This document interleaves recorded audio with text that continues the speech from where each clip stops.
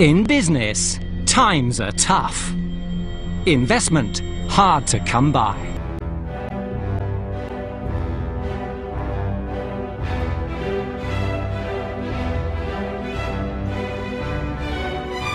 I'm a master haggler.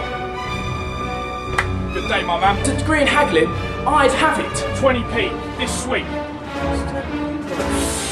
I live in Haggleton. Thank you. Alan Sugar needs me. Logistically, I'm sound. Got logistics, organisation skills. I'm what Sir Alan Sugar needs. I'll be his right hand man. It's over there! Must be there, come on, come on! It was completely out of control. You didn't even know what was going on. I've closed two deals this afternoon and they've done absolutely nothing. Oh, we're just about to close the deal now, but um, yeah, we'll call you back in two minutes. Yeah, yeah. Alright, see, Alright, see you see you later. later. Yeah, can I have two meat and chips, please? And I'll have a can of coke with that as well. People will think, why is he in this process?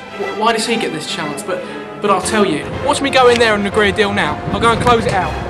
Nobody else can manage like I can. I'll manage every week if I have to, and I will. And I'll be picked first week, I'll win, and then they'll want me every single week after. Yeah, they're closed. So I'm what Lord Sugar's looking for.